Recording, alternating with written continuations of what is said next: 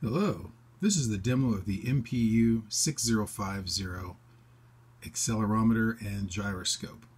I have it connected to an Arduino Nano. It's running the Blink Sketch. We're going to upload the code.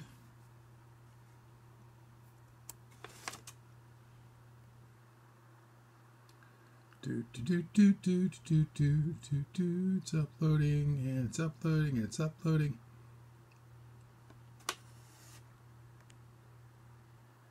Now, what we're going to do is we're going to open the monitor window.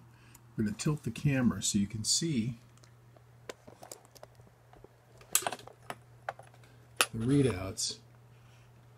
And I am going to tilt this device. And you can see that as I tilt the MPU 6050, the numbers change.